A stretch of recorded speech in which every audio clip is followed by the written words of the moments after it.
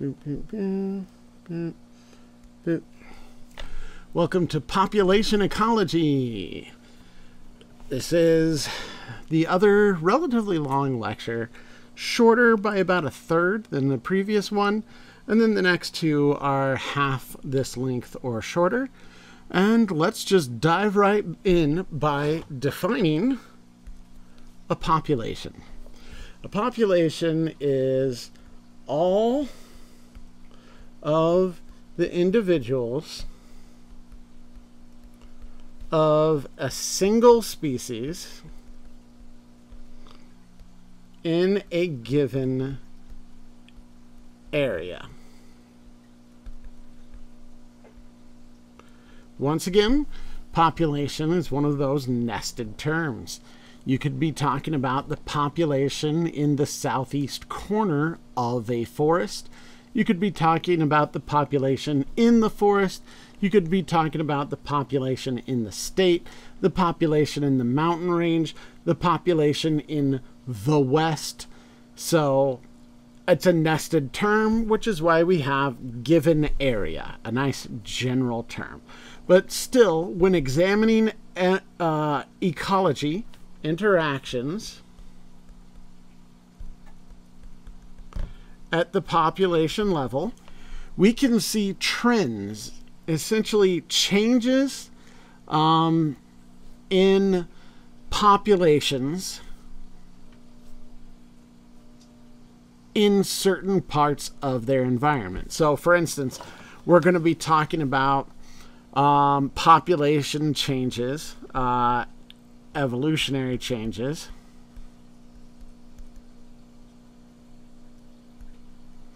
And the environments, rolling it at more than just broad levels. We're going to have a couple of little rules to talk about. So the first up is Allen's rule. Allen's rule is related to population biology uh, and basically how populations interact with climate.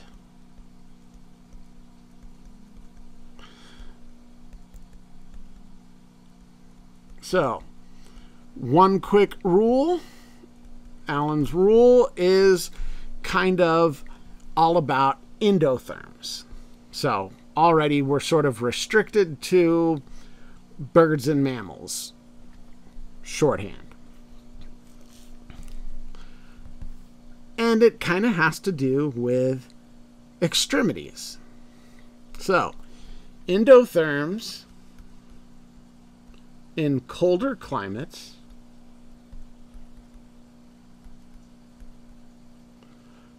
generally have shorter extremities, shorter or smaller extremities.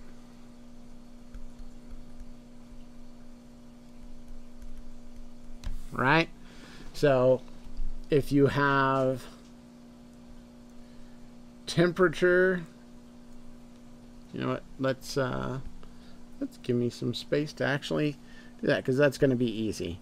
Let's just, uh, uh, oh, screen, there, boop, boop, all right. Here's temperature. And here's ear size. Because that's an easy one. And mirror.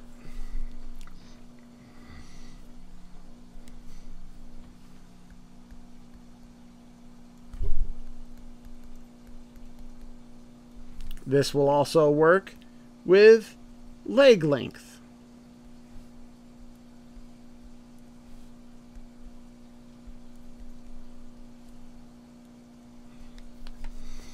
Um, this will uh, work with muzzles.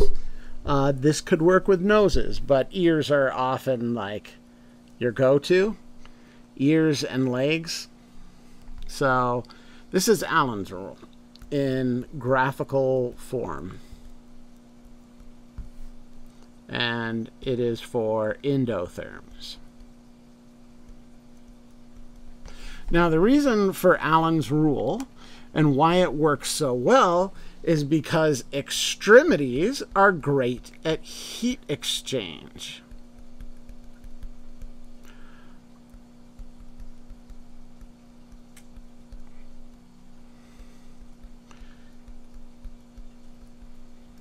Right?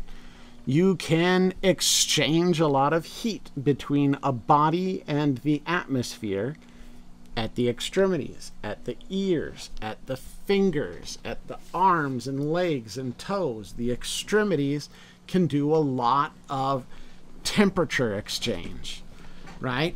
So when it's hotter, larger extremities allow you to moderate your heat. So large extremities lose heat. Let's just put that in quotes, lose heat, and small extremities keep heat, lose less heat.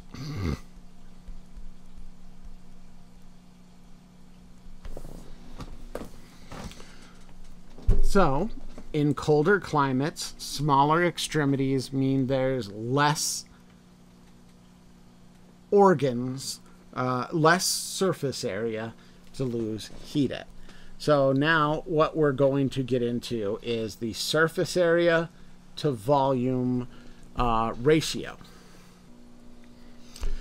So surface area to volume is uh, going to become important here, especially as we get on. But essentially, um, the more surface area you have, the more heat loss you have. Volume isn't as important in this equation just yet because, um, you know, a thin organ like an ear uh, is going to have a relatively small volume. Like, like if it was, I don't know, my dog's ear is like three millimeters thick, and hare is probably like four millimeters. Let's say zero point five centimeters thick there. And then I don't know. Hares have a big ear. Let's call it 24 centimeters and like another half. You're going to have a really... I'm doing math again. I shouldn't be doing math. 6 to 1 surface area to volume. Then over here, if it's like a 10 centimeter then it's going to be half and half, 2.5 to 1. Oh, the math does work. Okay, so yeah, basically like this. Because we're talking about extremities, and extremities tend to have a smaller volume, right? They're thinner.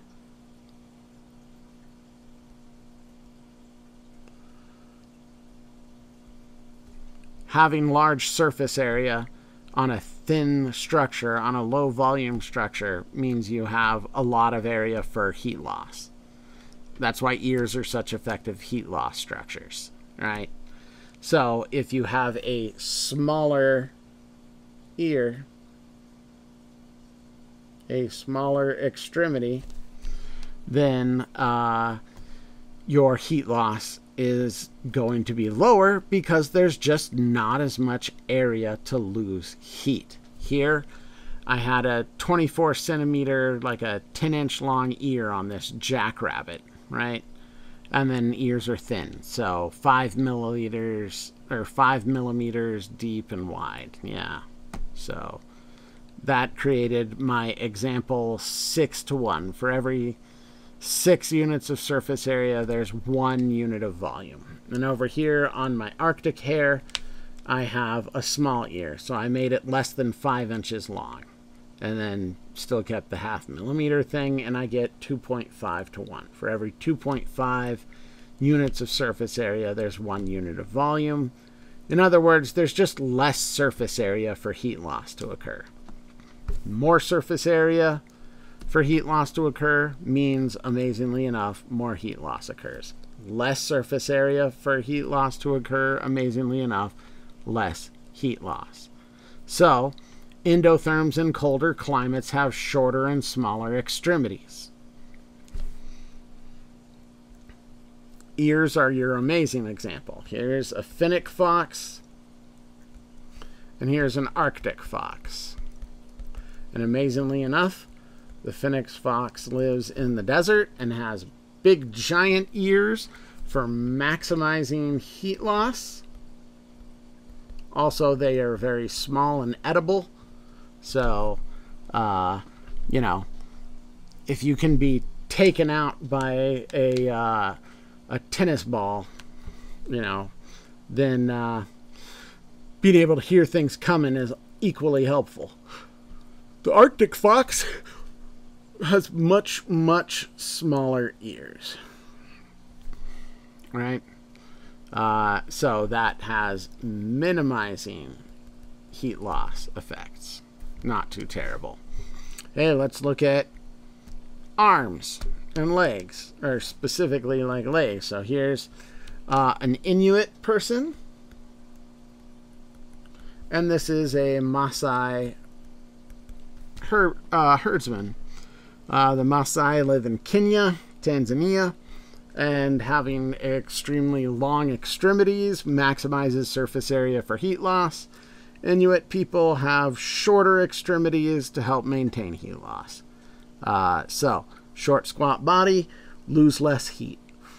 Long, uh, gracile body, lose more heat. Ta da! All right. Then we have Bergmann's rule.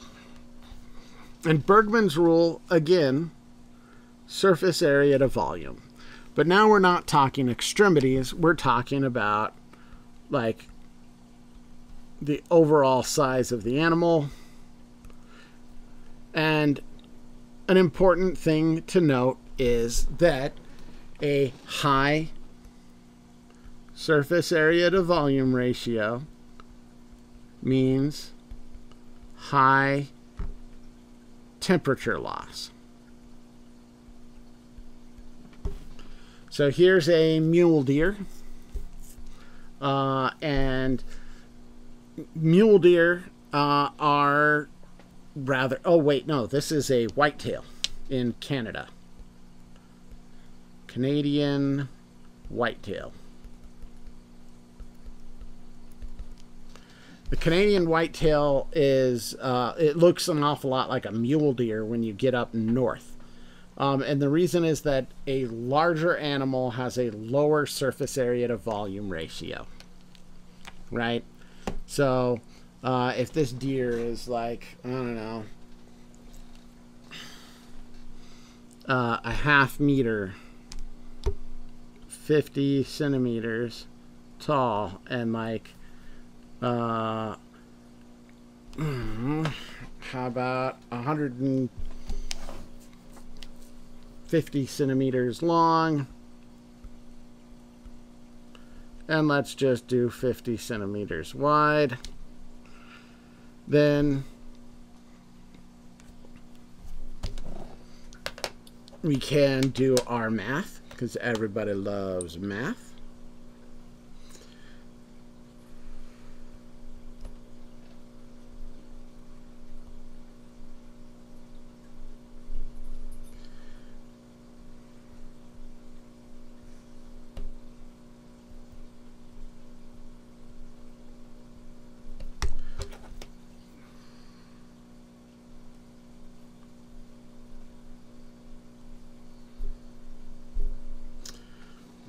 This surface area is 35 square centimeters and the volume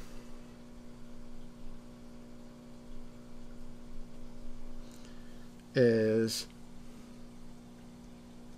375 cubic centimeters. Or meters, excuse me. 35 over 375 means we have a surface area to volume ratio of 0.093. A key deer is a very small critter. Um, when you get out into the Florida Keys, a white-tailed deer gets to near dwarf sized. Um, and the Florida Keys are also very hot. So instead of being particularly long, uh, you're going to run into the point where they're like, I don't know,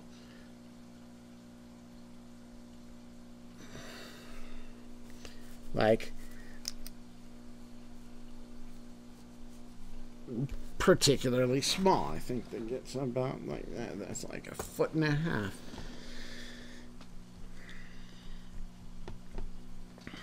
Yeah, so let's call it 50 and 50 and like 25. Who cares?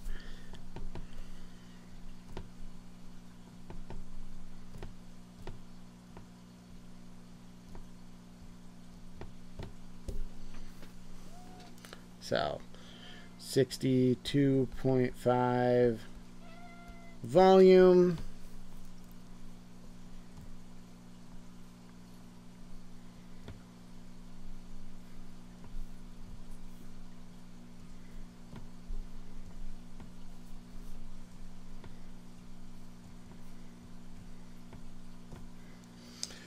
Twelve point five surface area.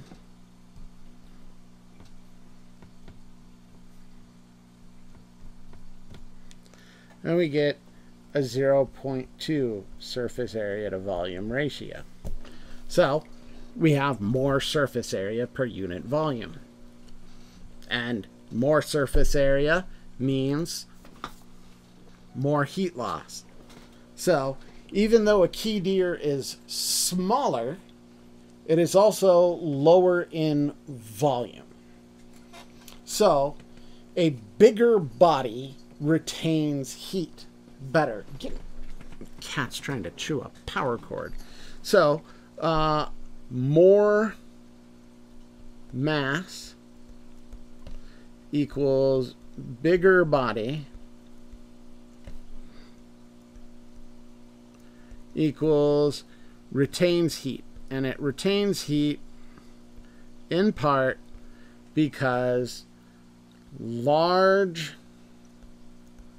bodies have a lower surface area to volume ratio and a lower surface area to volume ratio means lower heat loss right so it's kind of interesting um, bergmann's rule for body mass uh, follows the same basic rule. Uh, greater surface area to volume means uh, greater heat loss. Lower surface area to volume means lower heat loss. But because we're talking about the mass of the whole animal, right, rather than the mass of a really thin extremity, then larger means retaining more heat. So uh, it's all about the extremity versus the big old body. Uh, when you're talking about the core body, right? More mass means you retain heat easier. So I don't know, kind of cool. Uh, so that's Bergmann's rule. Al- Allen's rule is when we're talking about extremities in the cold, smaller extremities in the heat, larger extremities. When you're talking about the size of the whole animal in the cold, larger animal in the heat, smaller animal. For the same exact reason, managing heat loss through surface area to volume. A low surface area to volume This is like half the surface area to volume of our imaginary key deer. So there you go. You lose less heat the bigger you are. Um, and this isn't just necessarily the math. Uh, if you think about it, the larger the body mass, the deeper into the viscera you have to go to find, like, the heart. There's more muscle surrounding the body, there's more fat surrounding the body. So, in addition to just the math on shapes and the available surface area for heat loss, we also have the you know biomechanical consequences of getting a larger body. But Bergmann's rule is kind of just based on the mass. Uh, there are exceptions. Um, there's a few megafauna still left in the world. Uh, megafauna means big animal.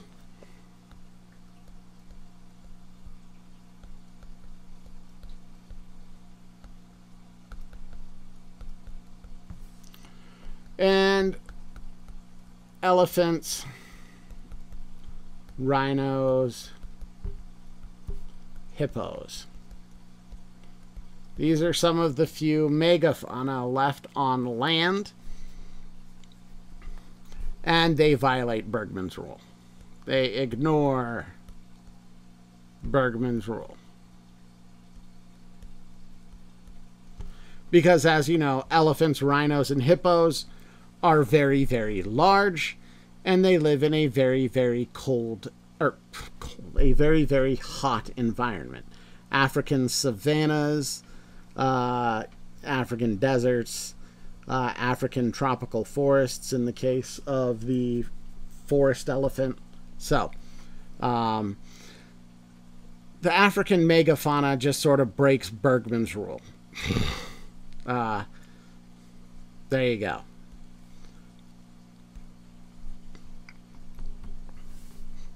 Um, one might be able to make an argument that their size is sort of an evolutionary leftover from the megafauna that evolved uh, when the oxygen was low, and then they stayed large when the ice age set in. So you're getting into hypothetical territories there. Okay. Powerful regulators of populations include density, right? The density of a population, the greater the effect it has, right? Increasing density equals a greater effect.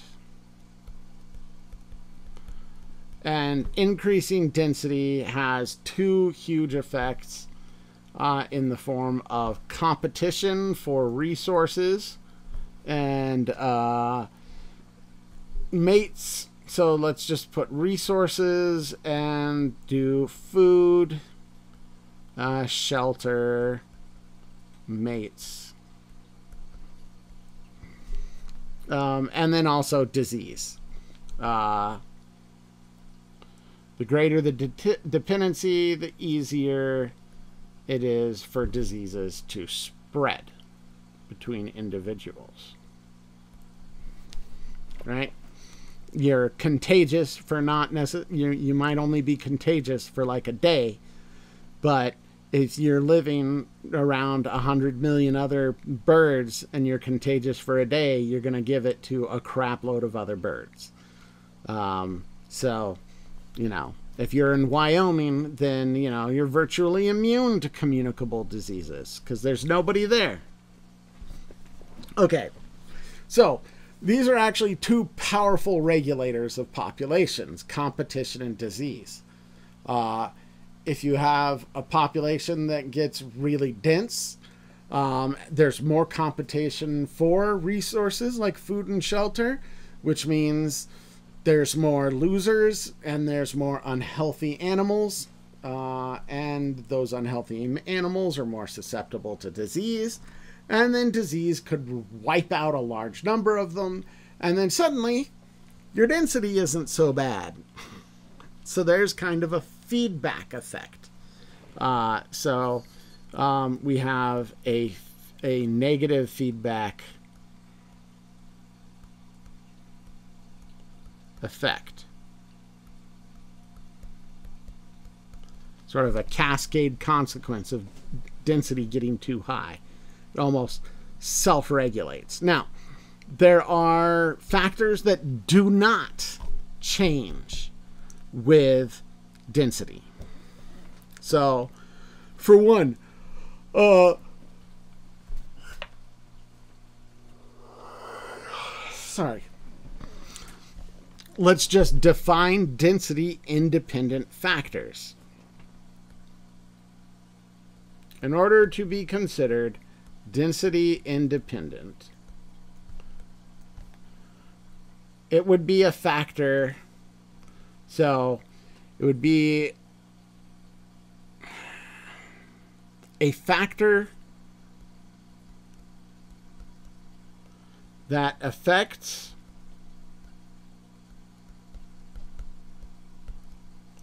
birth and or death rates. Mm, purple is not a good choice. It's a good thing i'm talking. Uh, so it's a factor that affects birth and or death rates. And uh, density doesn't alter that factor's effect. Um, intensity of the factor.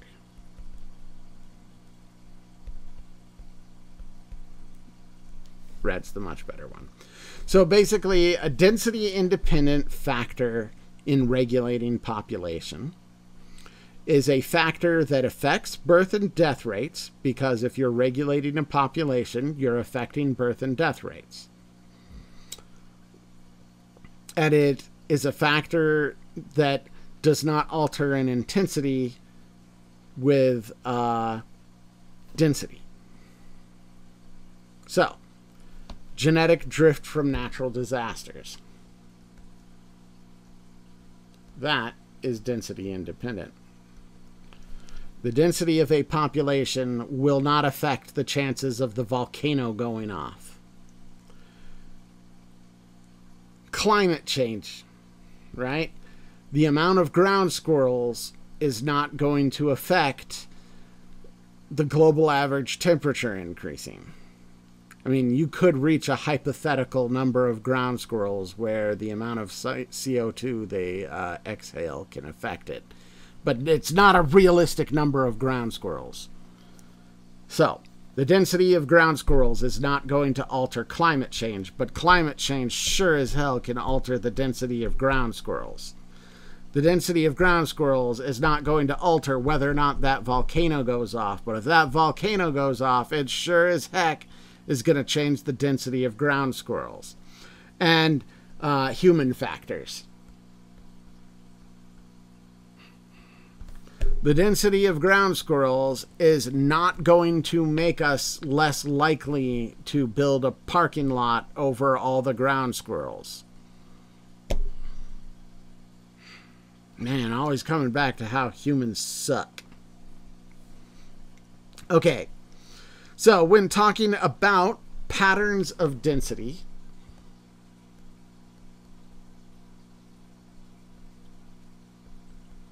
patterns in population density,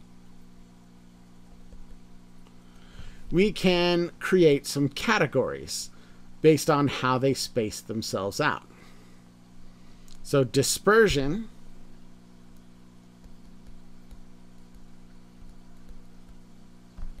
is how a population is spaced out in their given area. Right? So, clumped dispersion is most common.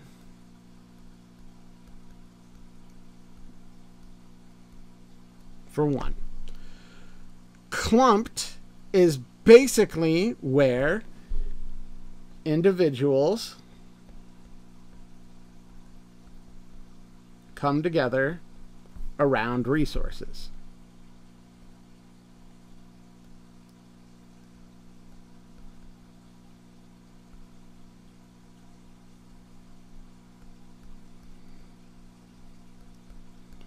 Does that patch of grass have the most nutrient rich flowers in it? You better believe all the deer who eat flowers are hanging around that clump of grass, right? So you can just imagine in each of these clumped spots is some kind of resource that they are capable of taking advantage of. So clumping around resources is obviously the most common type of spacing because you need access to them resources. All right. Uniform spacing is rarer. Um, in general, um, this could occur because of territoriality, territory defense.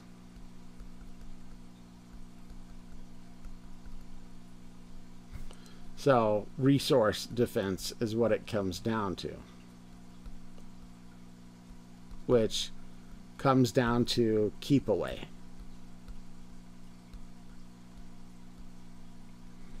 Right? So, these penguins here have a more uniform dispersion because each one has selected a nest site and then they're trying to keep the nearby males away from their nest site because it's their nest site and they want it. Um, could be you hang up a bunch of, you know, nectar hummingbird feeders evenly spaced out, and then rather than having 50 hummingbirds around each feeder, uh, you have like one pissed off hummingbird beating back all the other hummingbirds. And so each feeder ends up with defenders, and then you evenly space out your hummingbirds because they're guarding their resources. So, resource guarding. Could be food, it's often food, could be nesting sites, that's a resource, could be females, uh, so lots of stuff. that's uniform. Then random is unpredictable spacing. So,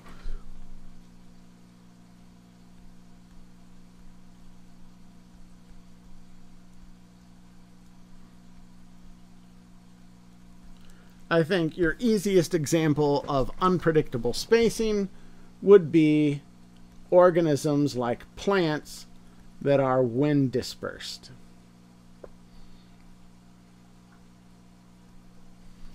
So, uh, plant seeds are often like uh, dandelion seeds undergo wind dispersion. So, um, that is more likely to be randomly distributed.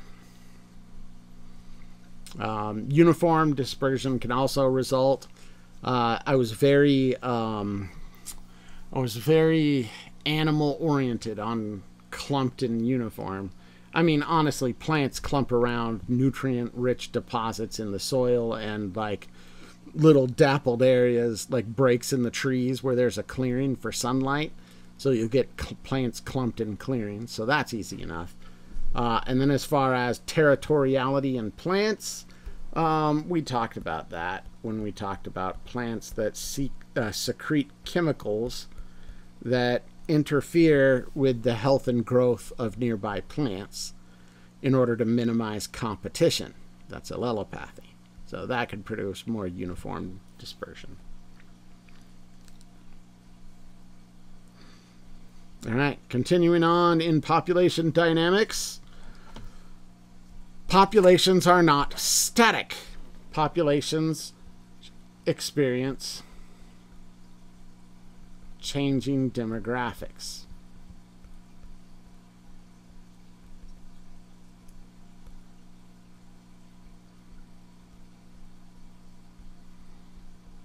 So, uh, demography is essentially the study of uh, statistics that describe a population. The study of vital statistics.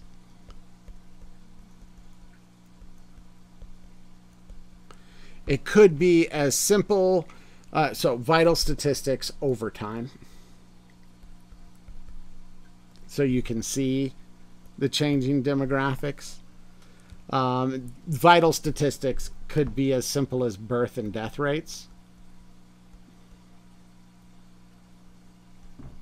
And if they're suddenly changing, you might be able to link them to something else, like maybe there's a particular phenotype that is easy to see by predators.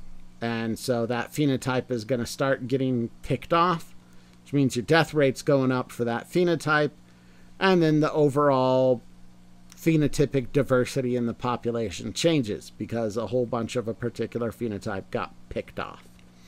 Other things that can alter uh, alter the demographics of a population, immigration and immigration into exit. So, uh, animals and their particular phenotypes coming into the population, animals and their particular phenotypes exiting the population. So, demographics can change as animals with varying phenotypes are born or move in. And demographics can change as animals with certain varying phenotypes uh, die or leave. So that's demography, population demography. Now, this can lead to uh, interesting stuff um, metapopulations get into a very fascinating uh, aspect of population demographics. So, metapopulations are all about immigration and immigration. and they occur when you have regular immigration and immigration. So, a metapopulation is a network of distinct populations interacting with each other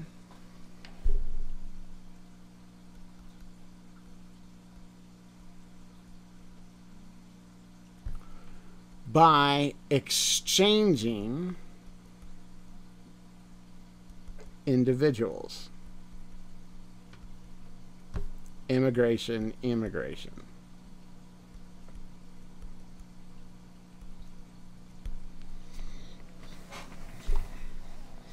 So, metapopulations are affected by the degree of interaction um, so uh, the more immigration and immigration there is, the greater uh, effects you'll have on those metapopulations.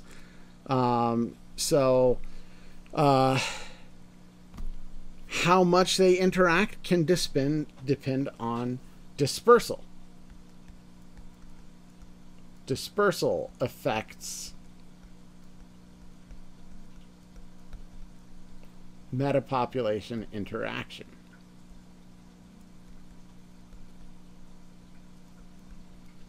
Right? So, uh, one of the most common ones being resource clumping. Right? Uh, so you have the clump of resource A, the clump of resource B, and the clump of resource C. And, you know, you'll have a bunch of individuals show up here at A, and then a bunch show up at B.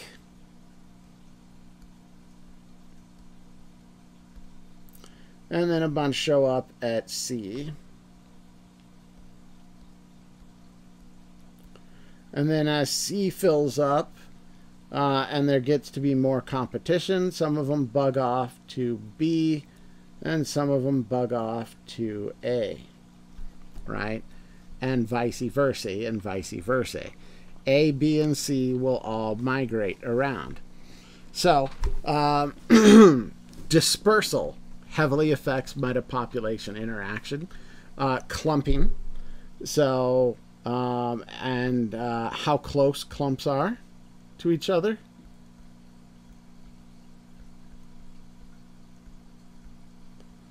And how rich the resources are.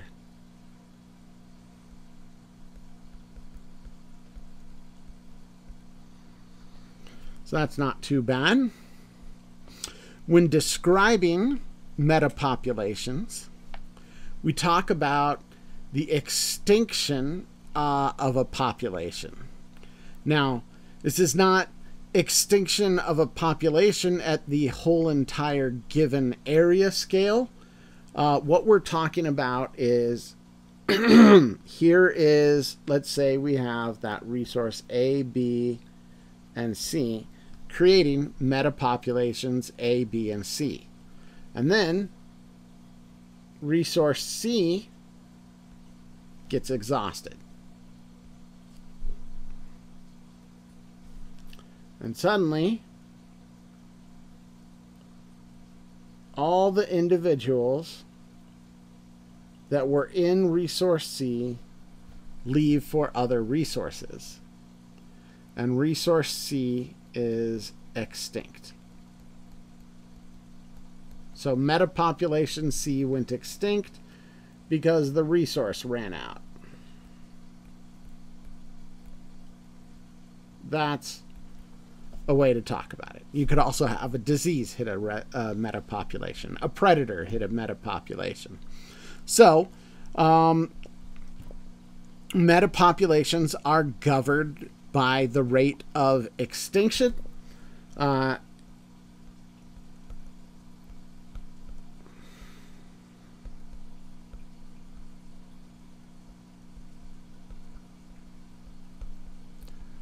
and the rate of colonization.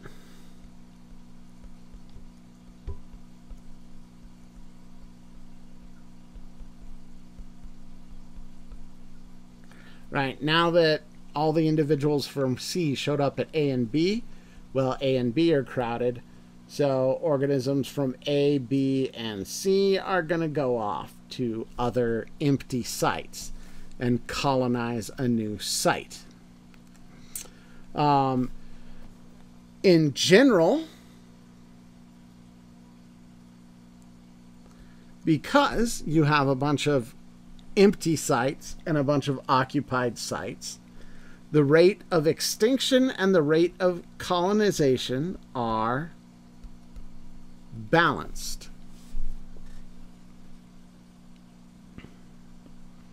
So, not too bad. Metapopulations are maintained through a balance between the rate of extinction and the rate of colonization. The degree of interaction is governed by the dispersal of the organisms, clumping being the most common, right? Because uh, the rate of extinction and the rate of colonization are balanced, uh, the overall population is maintained.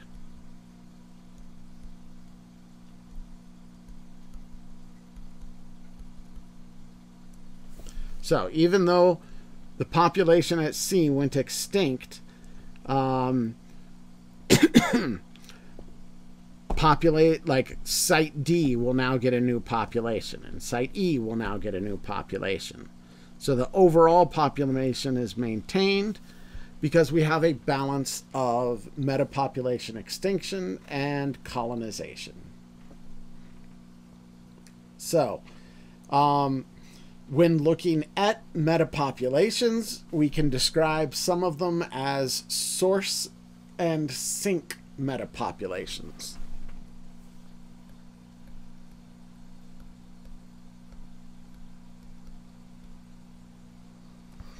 A source metapopulation is basically where we have uh, a habitat that can provide long term growth.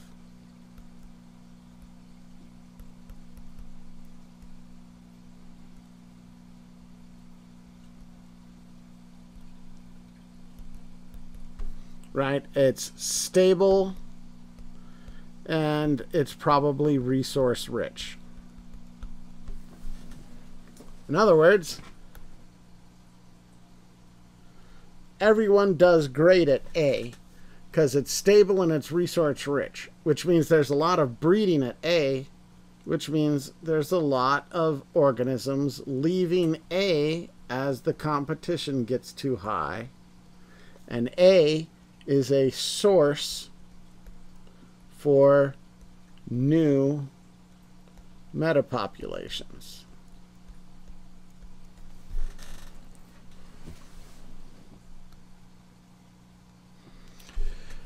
A sink metapopulation is kind of the opposite.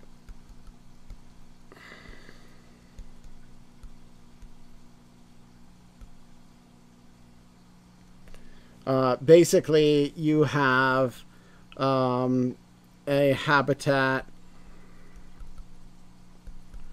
with few resources. So, uh, if a bunch of animals show up at B, which is looking pretty sad, let's see, here's.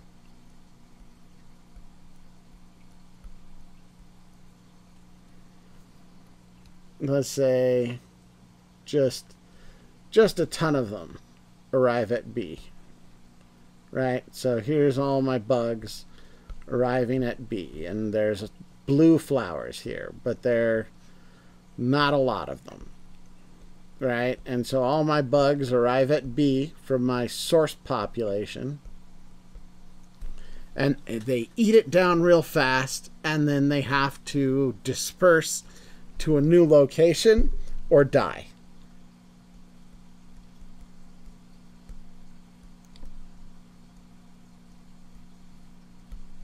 And they have to do it relatively fast because there's few resources. They use up all the resources relatively quickly. So the metapopulation of B appears relatively quickly with these blue flowers here, but then the blue flowers done got et up and all the organisms at B disperse to other metapopulations or die.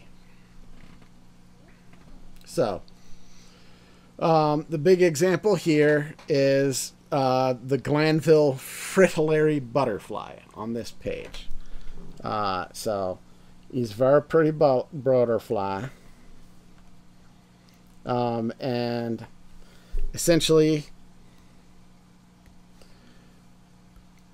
this butterfly uh, is found in Finland.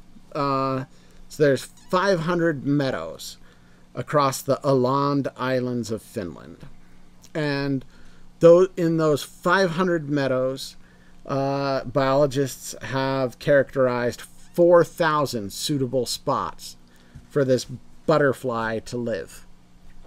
Um, and so they show up regularly uh, in these spots where they can live and they do well for a while, and then the population goes extinct as it completely disperses or dies. Um, none of the populations can survive on their own completely. So, in metapopulations, even a source is long term but not permanent.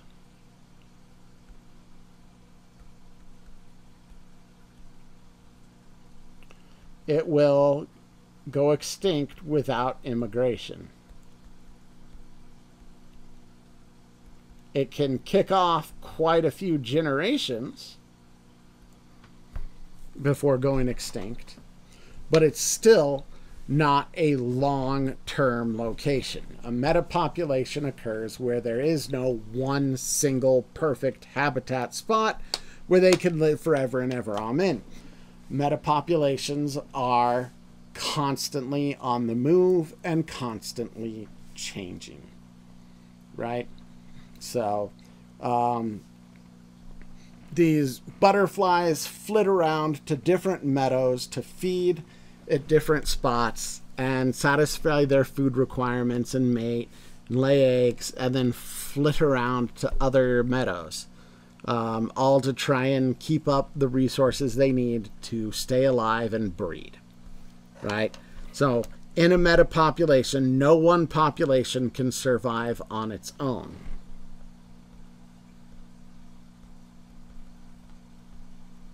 Not even a source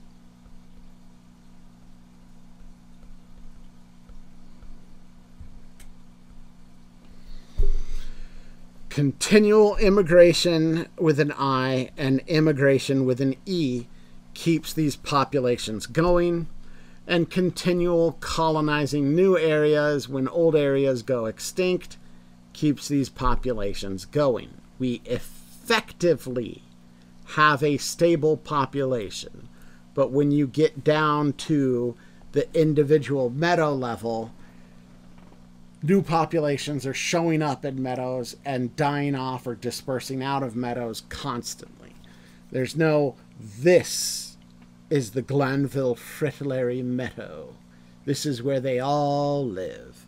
They are moving around between 500 meadows and 4,000 suitable uh, spots where they can feed and breed. So, the key to a meta population is that it is a net population, right? The picture here is uh, is Finland, the Åland Islands of Finland. So we can say there is a population of that butterfly on the Åland Islands of Finland. That's our given area. But when you look at the islands, there's no single site where all the fritillaries live all the time, and that's their location. That's where they live, and they're fine. They're fine. Everything's fine. No. Grand, uh, Glanville fritillaries are constantly moving between locations because no single meadow habitat can support the permanent population. The permanent population is only maintained by them continually moving between these little meadows all across the island and immigrating into each other and emigrating away from each other. So, uh, meta populations is one of those I kind of had trouble with. Hopefully that helped. I try and think of different ways to describe it. Okay, halfway done. Um, population uh, dynamics. Let's talk about how populations can expand and contract. Uh, basically, when we talk about changes in range, there's three main factors that cause a change in range. When we say a population range expands, amazingly enough, that population moves to take over new areas, and when they contract, the population reduces in size. Right? So, first off, environmental change. Right? So, glaciation would be like an awesome example of that. So, you have this forest here, right? And that the glacier expands out, and suddenly you've got half the forest. So that's a big giant environmental change that caused a contraction in range. And then the glacier recedes. and suddenly you have more space to expand. And so the big environmental change occurred, the receding glacier, and the range expanded. Right? Could also be temperature shifts. So um, you had uh, in the present, these coniferous forests are restricted to two to three kilometers in elevation before you get to alpine tundra, tree line. But in the glacial period, 15,000 years ago, uh, temperatures, uh, cold tolerant plants did much better. And so the range that these coniferous forests expand, uh, were in was expanded. So, not bad. Reason one of three environmental change. Can think of a bunch of others besides glaciation. Reason two of three population dispersal. So, movement. Oops, my. Movement away from their origin or high population densities.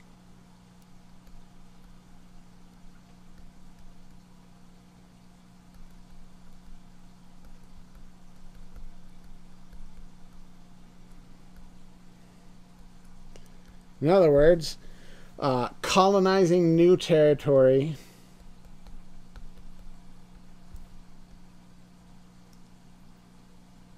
new habitats, um, gives us the opportunity to find new resources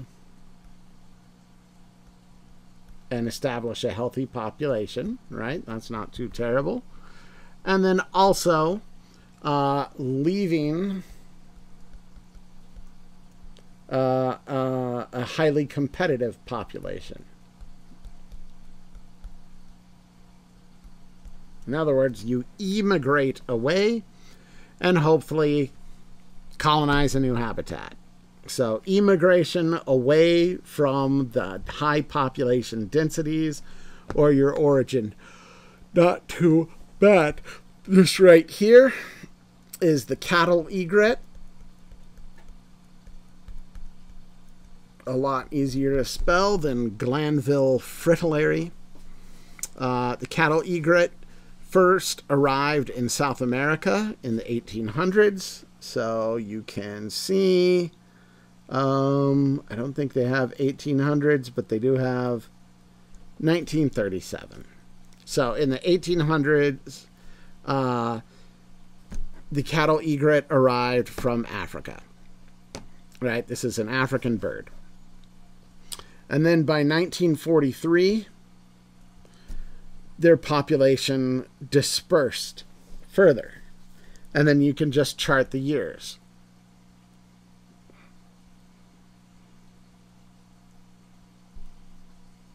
As they disperse and disperse. So, dispersal changes population dynamics. Uh, dispersal causes an expansion in range. Uh, so, Ta-da. All right. So we have the environment, like climactic shifts causing expansion or contraction in ranges. We have dispersal. Dispersal is an expansion mechanism.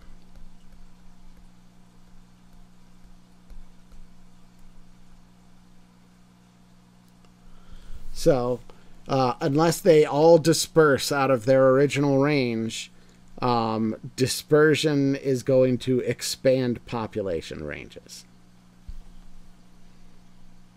Then uh, the last one that could cause population ranges to expand and contract are humans, because we suck. Uh, so, um, we uh, we are causing global climate change uh, and destroying habitats, doing habitat destruction, habitat fragmentation, uh, and that sucks. So, for instance, uh, the mourning dove does well in human uh, habitated areas. Mourning dove adapted to cities let's just say, make it easier. So when humans expand, when cities expand, mourning dove populations expand. Uh, expand. But when mourning dove populations expand,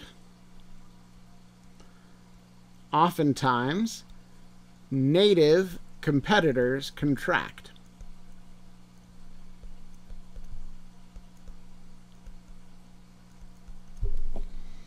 Uh, this right here is the Yangtze River dolphin.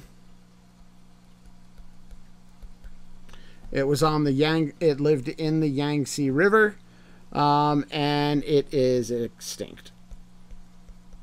Uh, basically, uh, the Yangtze River dolph- dolphin, like the the Irrawaddy River dolphin, um, it uh, it relies on periodic floods uh, to you know feed. Uh, so it needs periodic flooding. It relies on water movement. It relies on following its prey around and the Yangtze River got overly dammed up, and the dolphin could not move. Vessel traffic increased, fisheries wiped out their prey, uh, and it went extinct. And it went extinct crushingly recently. Uh, the the thing that tipped the scales was the Three Gorges Dam, some gigantic, massive, uh, triple hydro uh, hydroelectric dam project China did to show the world how awesome they are, and now it's leaking, and so they drove the Yangtze River dolphin extinct uh, for a dam they didn't build right and will have to be destroyed at some point. Humanity! Okay. So, um, populations fluctuate over time. That is just kind of a fact of population ecology. Um, and so predators often follow prey.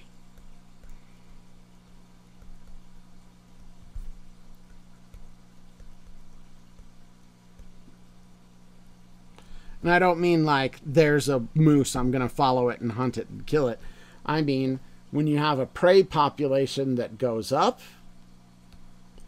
then, as prey become more abundant, the predator population, oh, I didn't change color, the predator population will go up as well. Then, at a certain point, the predator population spikes, and there's, you know, more predators than the prey can handle. And the prey population starts to go down. And then there's not enough prey to go around, and the predator pop the predator population goes down. Ta-da! So, um, predators follow prey. When the prey populations spike, predator populations will spike, and then that will cause prey populations to crash, and then predator populations will crash. Wolves in blue, moose in red.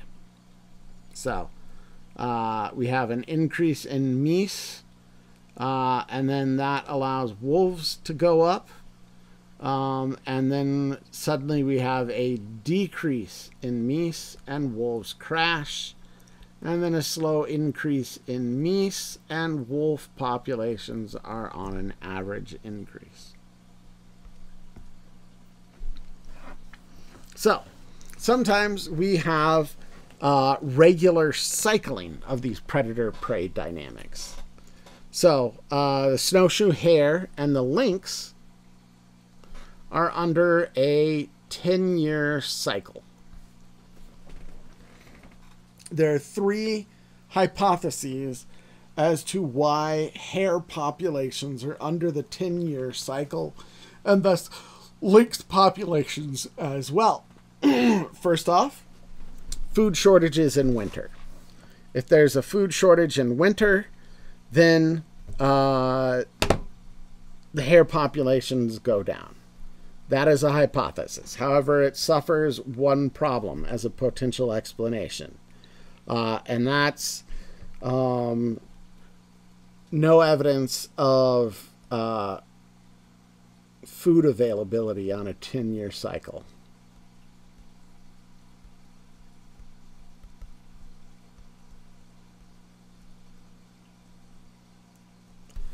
Food availability is not on a 10 year cycle. So the regularity of this cycle would make sense.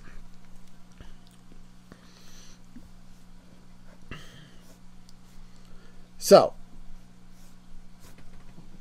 two other potential hypotheses out there. One, hare goes up, lynx go up, lynx eat hare.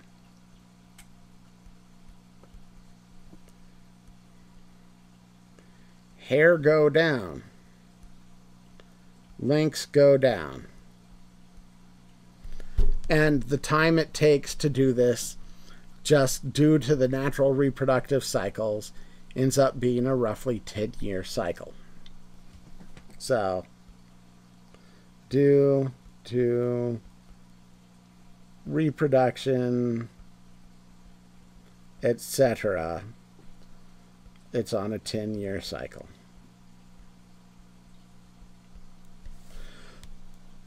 hypothesis three is kind of fun. Um, sunspot activity cycles every 11 years. Cycles over 11 years. And this is a 10 year cycle. That's pretty close. So, how could that work? Um, low activity equals uh, less ozone.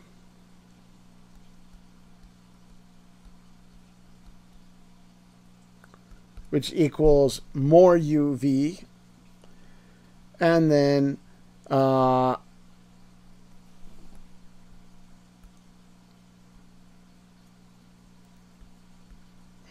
which provokes a plant response.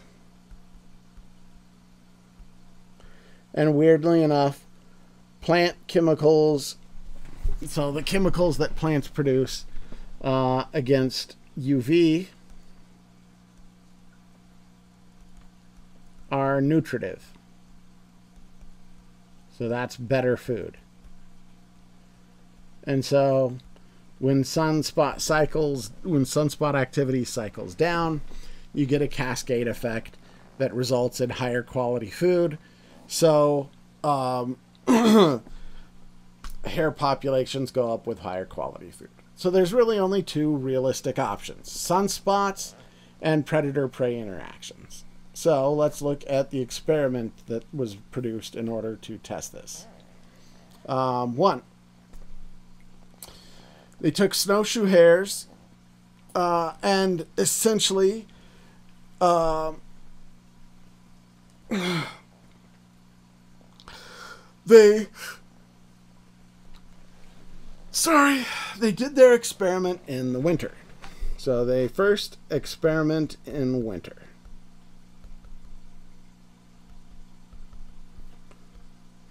Why would you experiment in winter that's pretty easy uh, there's food shortages in winter that means the experimenters can directly affect how much food and the quality of food the hares get. So, the experimenters can provide food. All right. They did several different groups, right? First, the snowshoe hares in the wild were provided unlimited food supplements. Um, and what happened was uh, so this was all about whether or not food shortages on a 10 year cycle were causing this. So, in winter, during a food shortage, uh, they gave hares a crap load of food and hare population went up.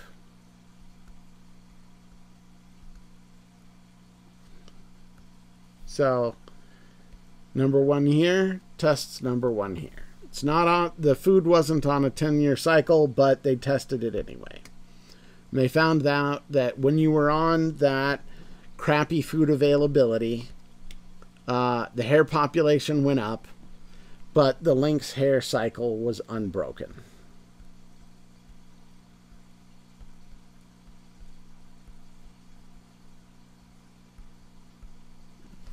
So, predator prey interactions.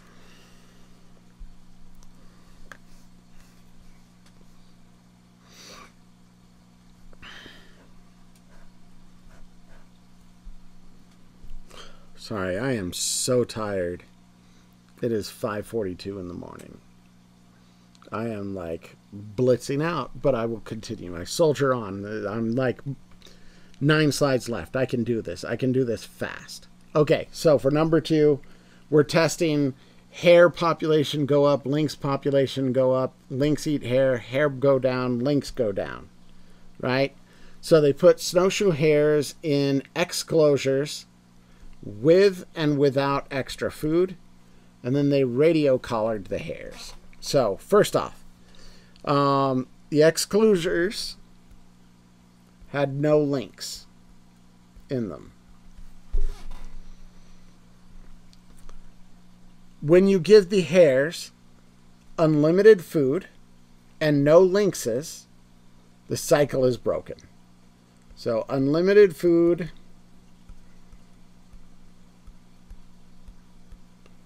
plus no predators equals 10 year cycle broken.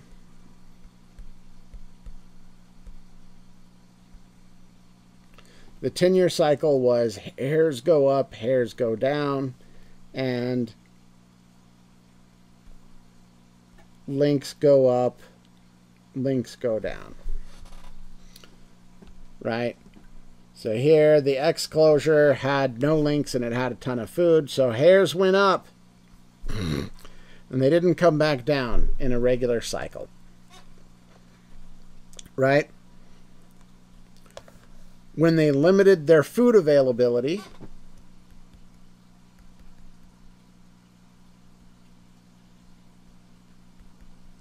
the cycle continued.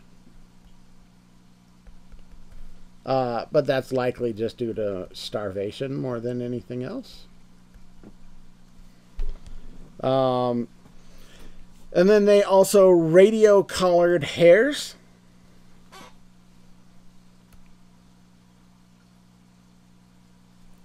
So they went ahead and radio collared hares so they could find out what was killing them every 10 years. And they found 90% of deaths were due to predators. So, 90% of their radio collared hares were killed by lynx predators. So, if you exclude predators but don't give them food, then there's too many rabbits that eat all their food and die. So, no predators, limit food. Uh, population goes up, they starve, the population goes down. Who could have thunk it? Right? If you add a whole bunch of food, and there are still predators, then give food. Hare population went up, then lynx population went up, then hare population went down. Right? Uh, and so in this case, um, predation was the cycle generator rather than starvation. And they confirmed that by seeing that 90% of their radio collared hares were marked by predators. So, um, number three, sunspots versus snowshoe hare populations was literally correlation. So, there you got it. There you got it. Um, if you give a bunch of snowshoe hares in the wild food, then their population goes up, but then it crashes on that 10 year cycle. So it's not that they're food limited, it's not the limitation of food causing the 10 year crash. Number three was correlational, and there wasn't a good way to actually study it. Like nutrient de- uh, density varies no matter what, it's completely variable. Uh, so, you know, it's a it's a correlational thing with no real direct evidence behind it. But number two has a bunch of good direct evidence. When you keep lynx out and you give them a bunch of food, their population just goes up and doesn't crash. Uh, when you give them a bunch of food, but you allow lynx to be present, their population goes up, and then it crashes, and then lynx population crash, uh, almost like there's not enough food to go around. Um, and then when they, you know, allowed lynx in and just didn't give them food, then the rabbits starved to death. And uh, yeah, uh, there you go. That is the population cycle, the 10 year population cycle with lynx and hares.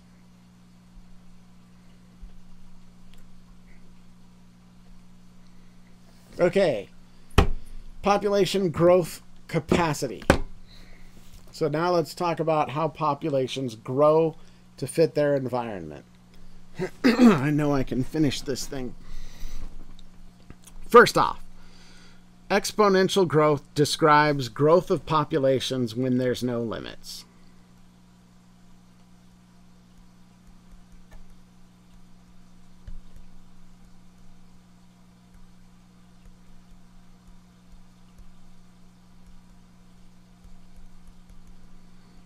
So if a population is undergoing exponential growth, you can be sure at the moment there is nothing limiting that population's growth. Now, every given environment has what's called a carrying capacity.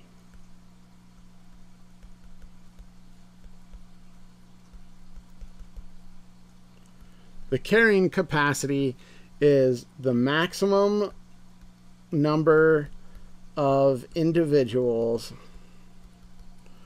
a given area can handle.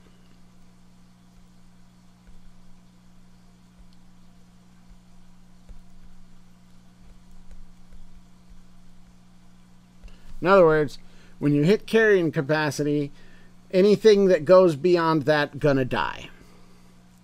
Gosh darn it, didn't change the color. Huh. So this is my carrying capacity. It's often abbreviated K. So, without the limits of the carrying capacity, population undergoes exponential growth.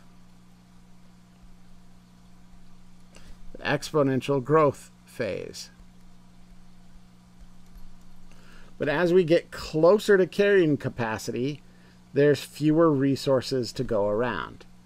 And so growth slows down, and you get this curve. And that curve is the logistic growth phase.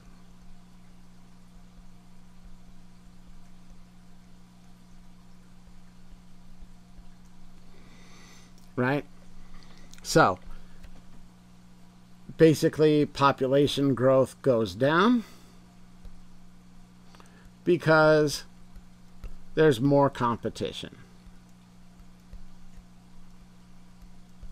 because you're nearing the carrying capacity. So, not too bad. So, in general, we expect to see populations follow this basic growth trend where they have early exponential growth. Then, as they approach the carrying capacity, they go into a logistical phase and then they hit carrying capacity and they net stay at it.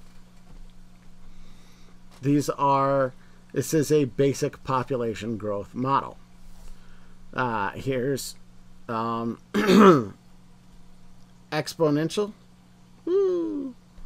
Uh, and then here is your logistical. And then here is your carrying capacity. So, not too bad. As populations approach carrying capacity, competition goes up, and population size increase, like the growth, the population growth slows down. Hence why you get that little S curve. So, examples of logistical growth. Fur seals. Um, on St. Paul Island, fur seals show a standard logistical population growth curve. Um, and then water fleas also show this growth curve. And we can hype, well, yellow is not very good. But the water fleas were done in a lab. And so this imaginary line here is the carrying capacity. And you can see water fleas, they kind of lay a crap load of eggs. So their population went up above the carrying capacity and then crashed. And then kind of stuck around at the carrying capacity. So there you go. Uh, so when we talk about where they are on the curve uh, and uh, how their population growth relates to where they are on the curve, uh, basically, we can say there are K selected species that do very good jobs of re- uh, reproducing relatively slow. So uh, they reproduce slowly. They produce few large, well cared for offspring. Um, basically, really great for maintaining a population at the carrying capacity without violating it. Uh, R selected populations are like these water fleas. They crank out tons of offspring. So, K selected.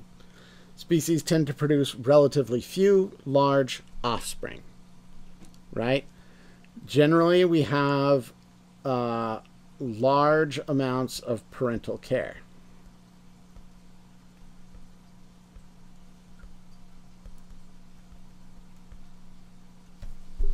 So, um, there you go. Uh, whooping cranes here. Um, they don't mature till four.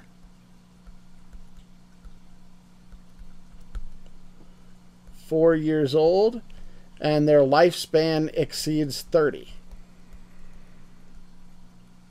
which is pretty darn good for a large bird. Right? Um, so they have a lot of time to invest in reproducing and they pay a lot of attention to their offspring. Um, whales, so this is uh, a whooping crane.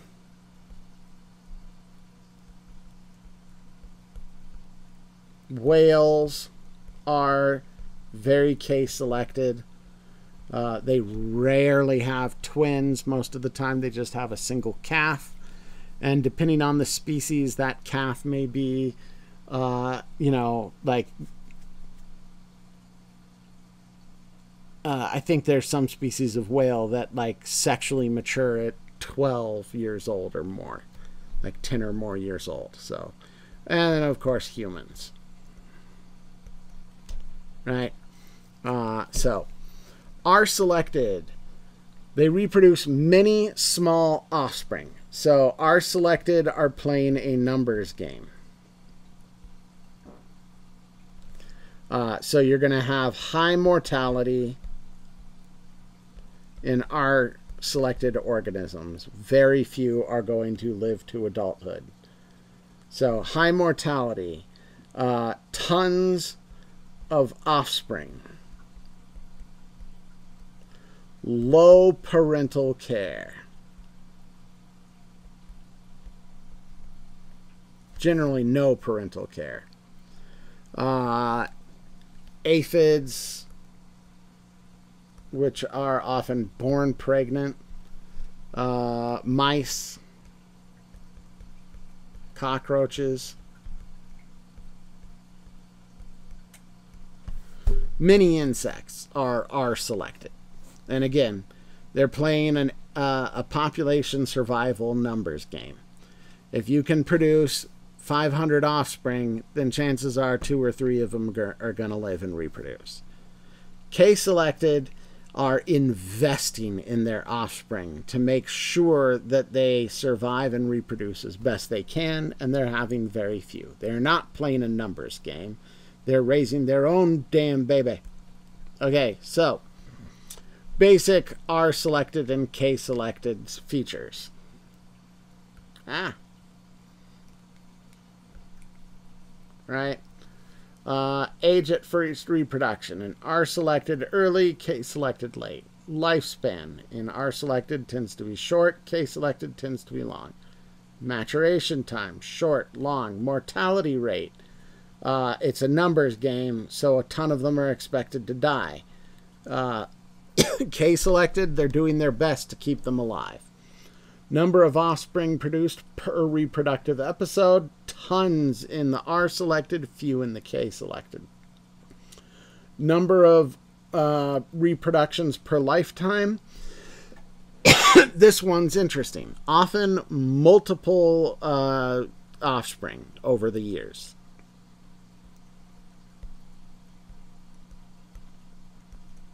Whereas many R selected ones, uh, they pour all their energy into reproducing.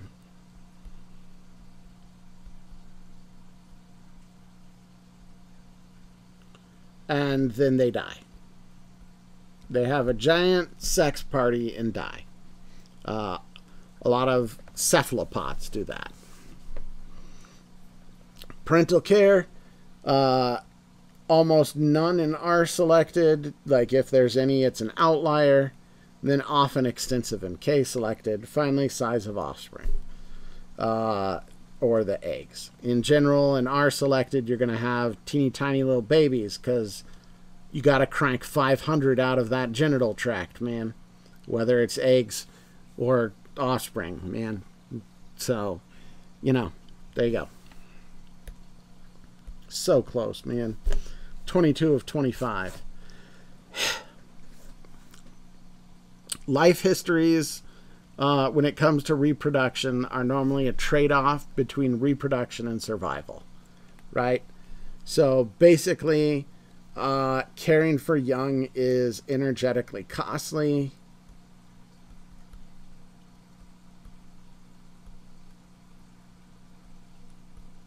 It costs energy right and so devoting energy to young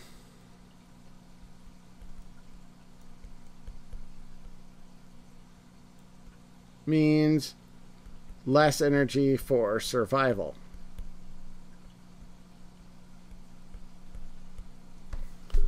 So we have a trade off here. Putting more energy into your young will do a better job allowing them to survive in the uncaring universe.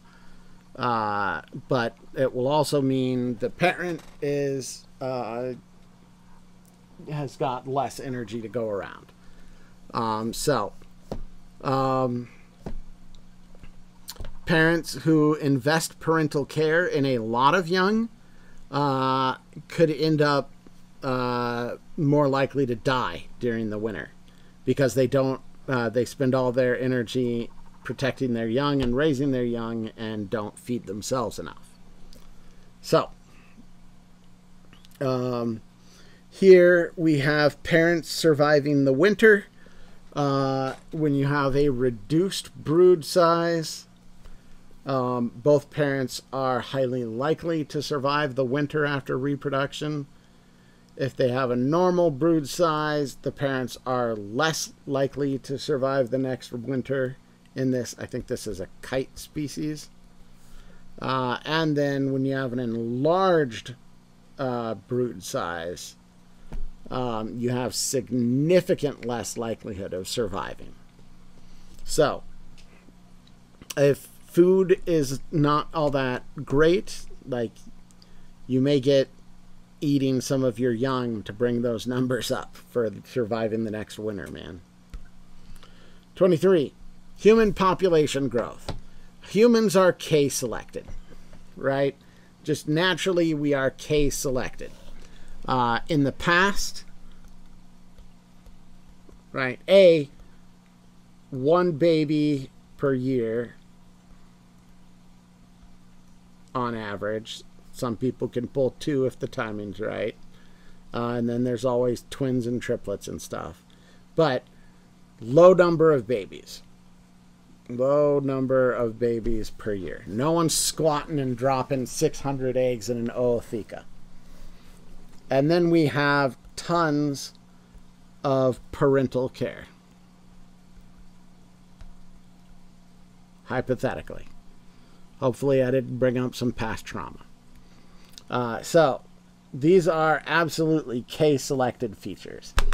In addition, uh, humans have remained K selected because of food availability. We couldn't afford to feed huge populations of humans. So, in the past, there was low food availability. Um, then there was lots of disease.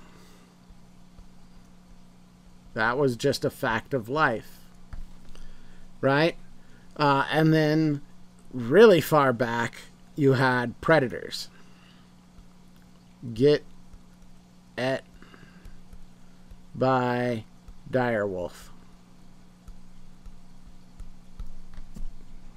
So, we remained K selected because of that low food availability, that uh, large amount of disease uh, naturally causing us to stay K selected.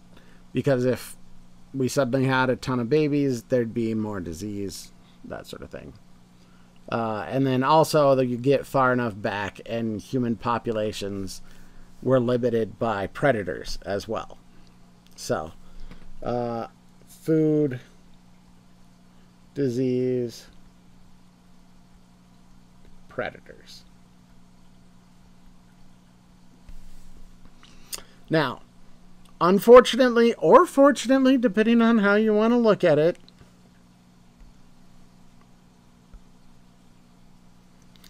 technology has allowed us to stay in a uh, an exponential growth phase.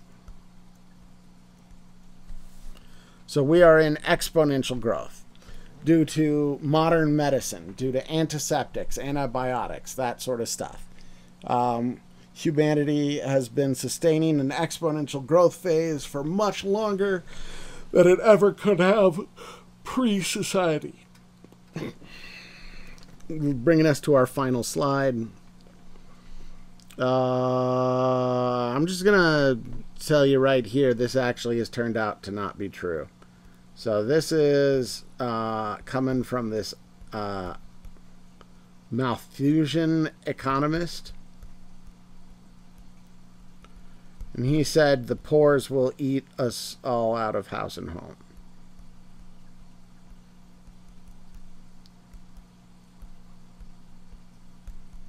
And the pores will take all the resources because the pores are having all them babies.